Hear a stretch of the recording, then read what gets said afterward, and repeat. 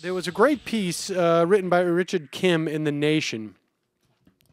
And he starts by saying, Ask yourself, do you know the name of any of the victims killed in the West Chemical uh, Fertilizer Company disaster? Do you know how many of them there were? Their ages, aspirations, what they looked like, whether they left behind children or what messages they last posted on Facebook. Do you know if there is an explanation yet for what caused the explosion? He goes on to say you probably don't know the answer to at least all of those, if not most of those questions. Yet 14 people died, many of them first responders, 200 people injured, many of them uh, seriously. And he goes on to write We pay orders of magnitude more attention to the victims of terrorism than we do to the over 4,500 Americans killed each year while on the job.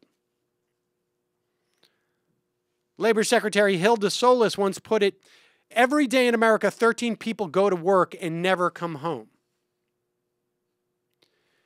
He says, let's imagine that instead of sending a handful of investigators from the ATF and the Chemical Safety Board to West Texas, we marshaled every local, state, and federal resource available to discover the exact sequence of events that led to that explosion. Imagine that the question why became so urgent that the nation simply could not rest until it had overdetermined the answers. We discover that OSHA hadn't inspected the plant in 28 years. Did this play a role in the disaster? If it's found that the company owns the plant, Adair Grain, violated safety regulations as it had at yet another facility, we might call it criminal negligence and attribute culpability. But would we ascribe ideology? And what ideology would we indict? Deregulation? Austerity? Capitalism? Would we write headlines that say officials seek motive in Texas fertilizer explosion? And could we name profit as that motive in the same way that we might name, say, Islam as the motive for terrorism?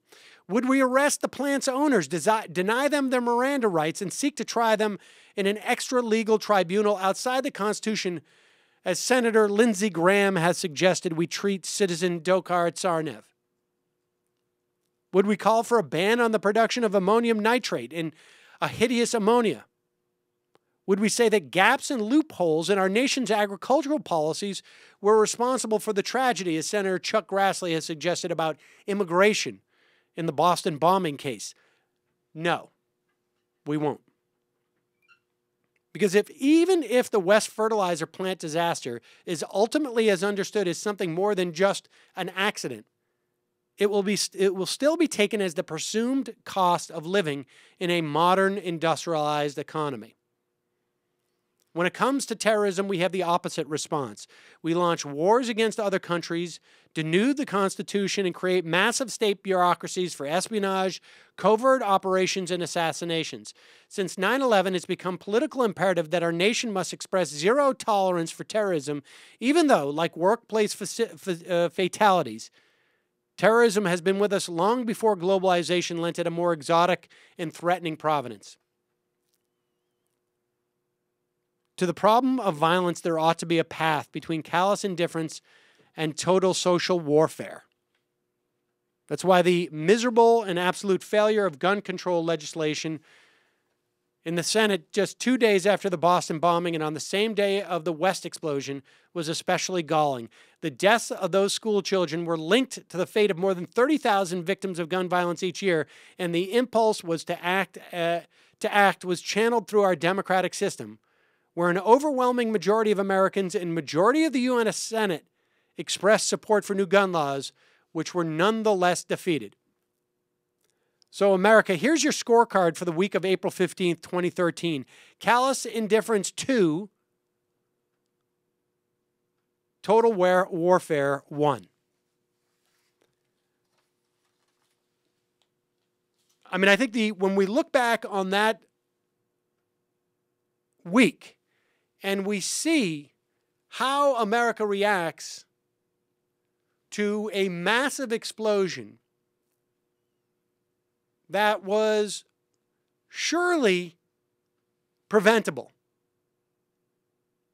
The question is how far will we go in the context of providing regulation? How much profit will we, are we willing to destroy, essentially,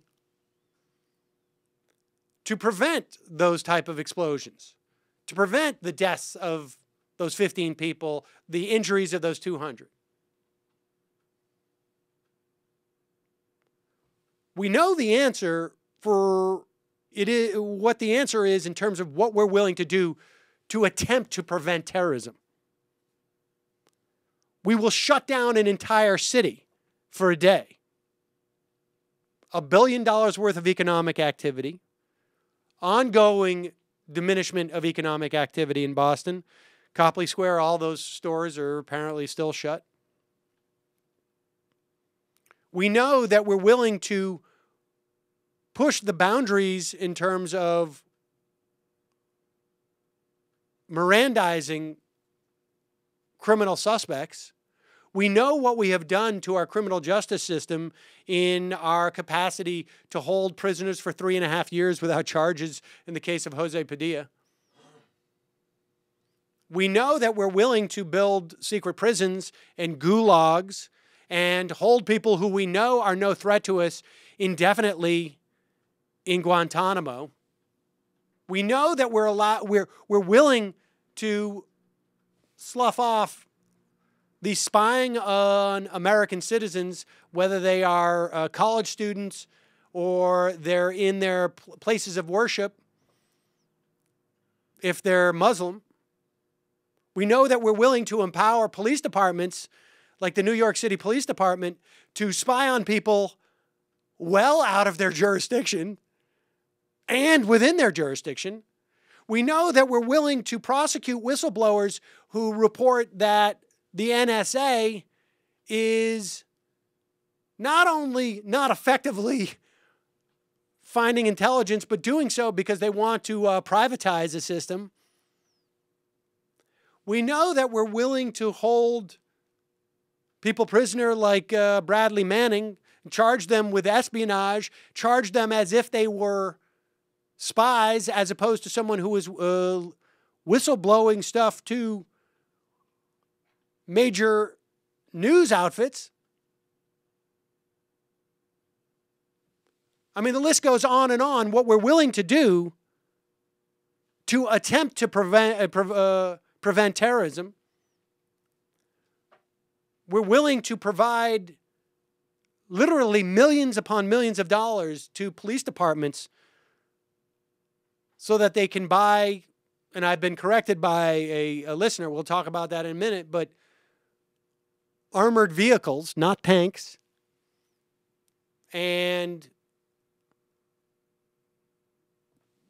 devices that will incapacitate crowds uh, through audio uh, through uh, you know audio cannons essentially. We know what we're willing to do that in terms of preventing terrorism to fundamentally chip away at our civil liberties. But when it comes to preventing explosions, if there's any diminishment of profit,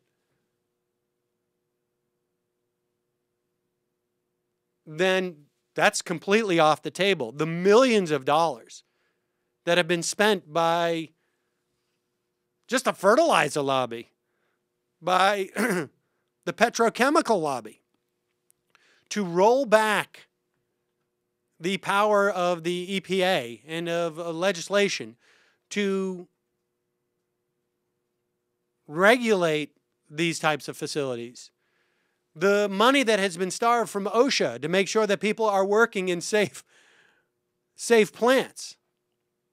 The pressure that's been put on the EPA not to exercise its ability to go out and investigate these types of facilities, even though there's been a record of safety violations by this own company, by this facility.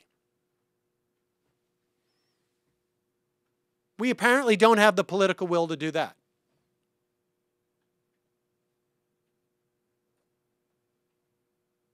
We don't have the political will to say, hey, if you purchase a, um, a gun you, in any context, you need to make sure there needs to be a background check.